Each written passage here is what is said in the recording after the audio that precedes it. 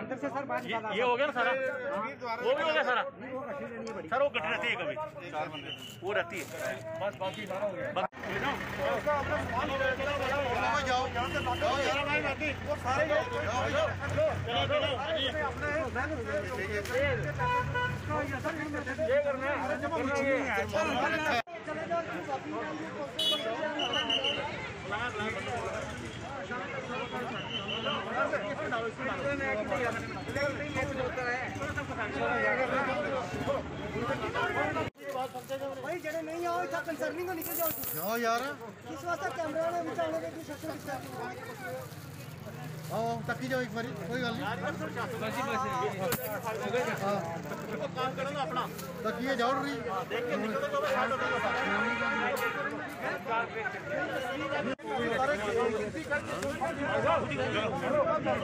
किसान निकला कर रहे नोट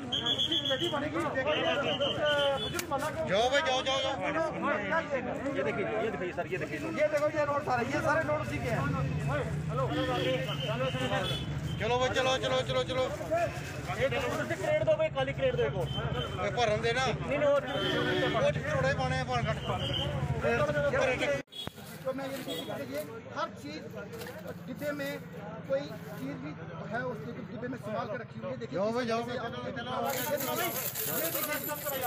रवि भाई रवि भाई लगातार आप आपको तस्वीरें में दिखाने की कोशिश कर रहे हैं इतना पैसा जो है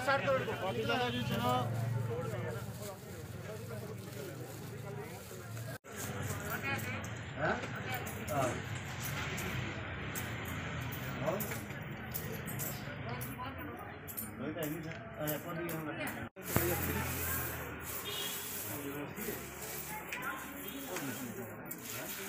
यहाँ पे कल जैसे कि ओल्ड एज जो है जोरी की तरफ़ से यहाँ पे कुछ एक टीम आई और वो इस महिला को जो यहाँ से उठाकर ले गए, वो चले गए ओल्ड एज के लिए।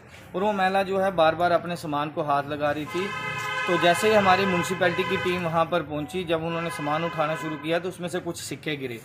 कुछ सिक्के गिरे तो जब सामान की तलाशी शुरू हुई तो छोटे छोटे छोटे छोटे पैकेटों में कुछ कुछ किसी में 500 किसी में हज़ार, किसी में 300 किसी में 200 इस तरह के पैकेट निकलने शुरू हुए। जब गिनती, जब हम उनको गिनते गए, हमारी टीम जो गिनती गई तो पैसे वो काफ़ी ज़्यादा थे। हमने एडमिनिस्ट्रेशन को इन्फॉर्म किया।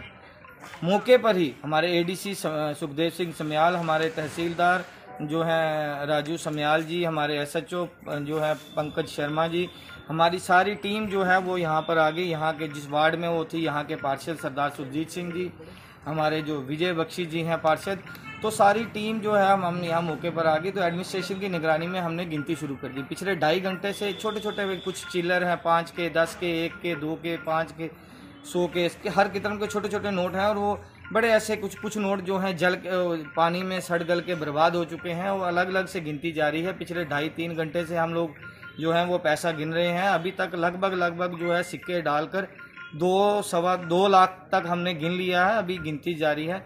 अब देखते हैं ये कितने होते हैं।